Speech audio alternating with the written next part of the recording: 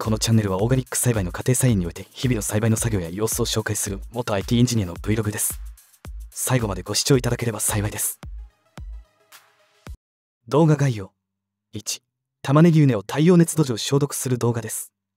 今年は5畝で玉ねぎを栽培する予定で2畝の太陽熱マルチが終わっていて今日は残り3畝にマルチを張ります。太陽熱土壌消毒は市場菌カビの殺菌や雑草と線虫の抑制などが期待できます。玉ねぎはマルチ栽培をするので雑草よりも市場菌の殺菌を目的にします。しかし毎年ベト病はそれなりに発生します。今日の構成は下記の内容になります。2週は太陽熱土壌消毒する補助。3週は畝の水分測定。5週はトラクターのビリによる畝立て。7週は畝幅の確認。8週は透明マルチ張り9週はマルチ土寄せの補強。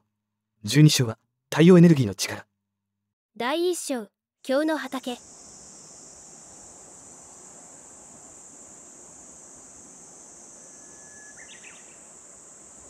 今日は早朝の涼しい時間帯に太陽熱マルチを張ります。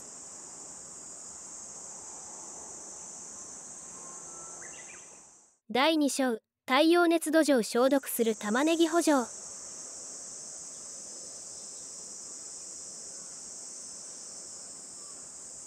左側の2本のマルチは6月下旬に張った太陽熱マルチです。畝間に雑草が生えてきていますね。今日は右側に3本のマルチを張ります。第3章畝の水分を測る。4日前に 55mm の雨が降った後夏日だったので畝の水分量を確認してみます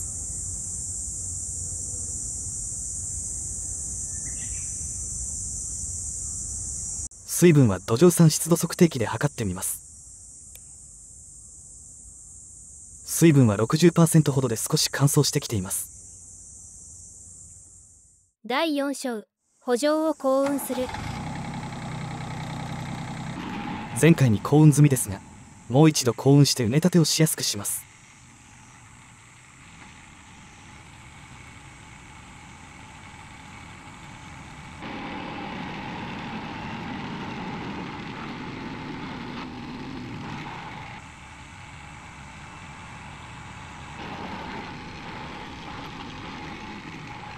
5時半には太陽が顔を出してきました。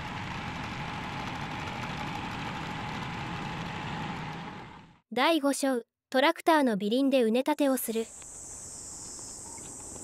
畝間隔を決めてたびき車で畝のラインを決めます。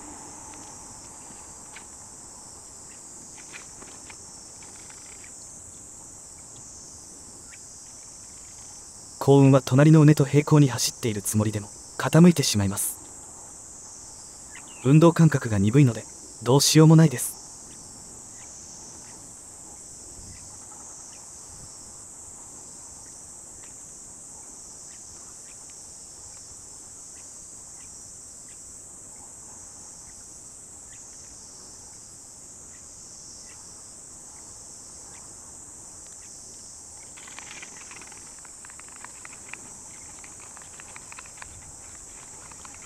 畝立てはビリン角度を内側に傾けて少し平たく畝にします。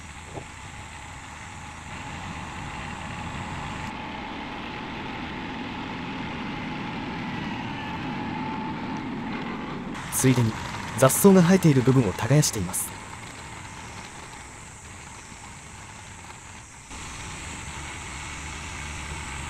傾けたビリンで無理やり畝を立てています。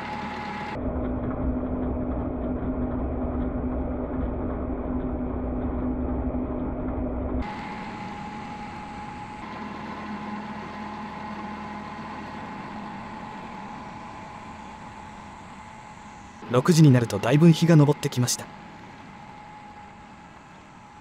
畝の終わり部分は高低差があるので畝が曲がってしまいます。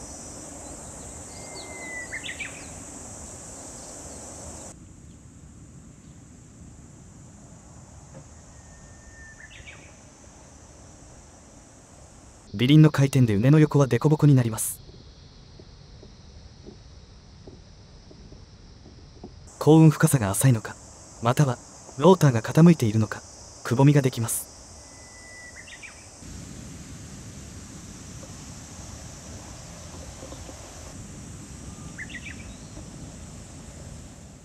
第6章うねを成形する。うね上面と横の凸凹を鳴らします。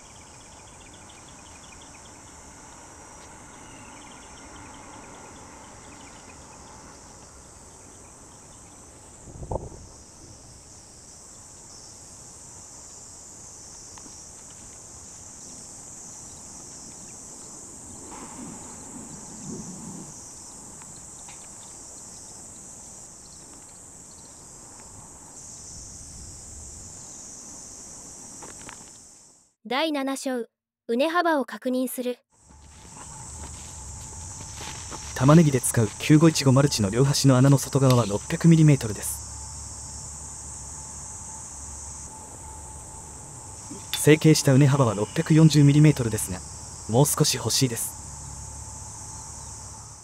第8章透明マルチを貼る。マルチ張りはマルチパートナーがあると大変楽に貼れます角材と丸棒で自作したものです。畝の両端はしっかりと覆土しておきます。マルチが浮き上がっても何とか持ちこたえてくれます。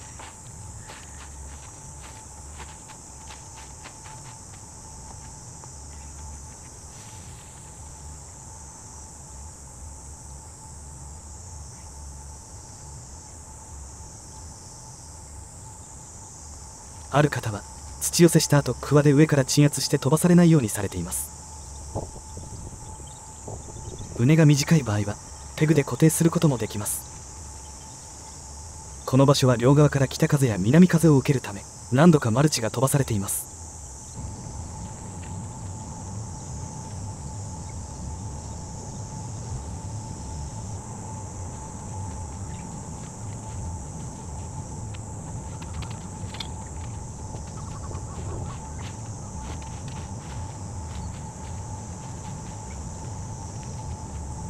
マルチは畝上面に密着させた方が良いのですが畝上面が波打ったり凸凹しているのでマルチがバタつきます。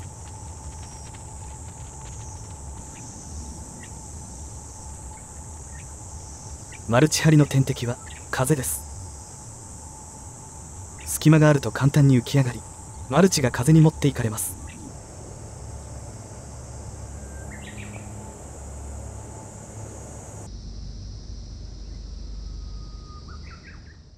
第9章畝間の中高とマルチに土寄せ補強をする。東西方向にマルチを張ると飛ばされやすいため管理機でマルチに土寄せをします。一度中高して土寄せしやすくします。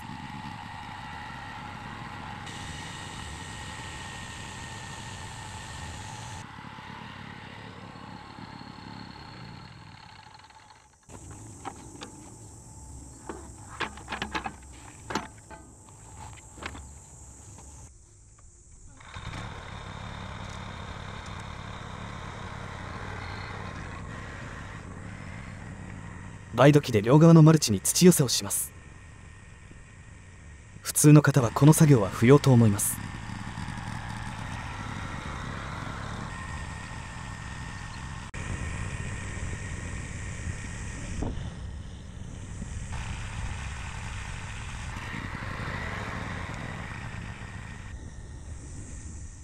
第10章。マルチ上の土を取り除く。マルチ横をトラクターや管理機で幸運すると土が飛び跳ねてマルチ上にたまります。太陽光でマルチ下の土壌を消毒することが目的であるので日陰ができると消毒ができなくなります。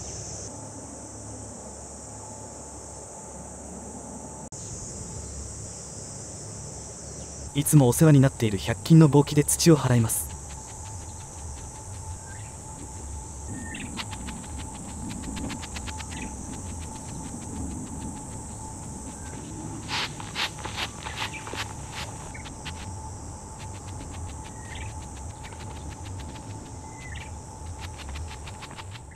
第11章玉ねぎ補助の太陽熱マルチ張りが完了。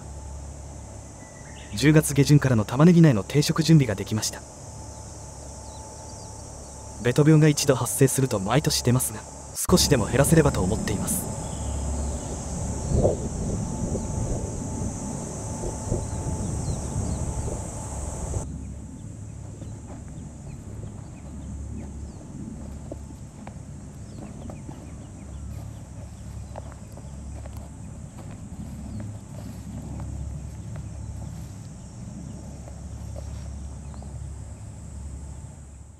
第12章太陽エネルギーの力。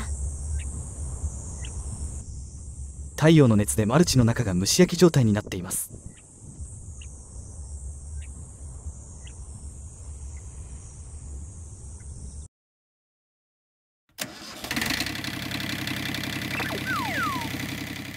第13章コーヒーブレイク。マルチ張り以外の作業をしているとお昼になってしまいました。日陰で座っているだけでも汗が噴き出してきます。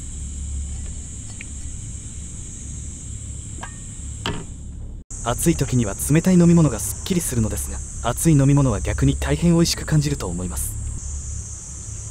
太陽熱土壌消毒については概要欄のご参考にに比熱プラス実践マニュアルを紹介しています。実践マニュアルを参考にして定量的なデータをもとに効力がある土壌消毒をしてみたいものです。今日は本当に暑いです。8月はどうなるのでしょうか。作業は午前の早い時間帯でやめるようにしましょう。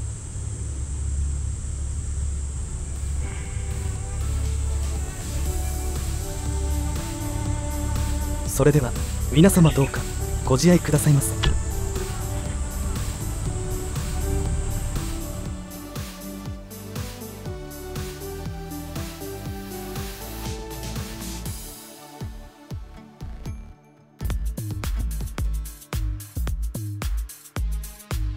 ご視聴いただきありがとうございます。チャンネル登録していただければ幸いです。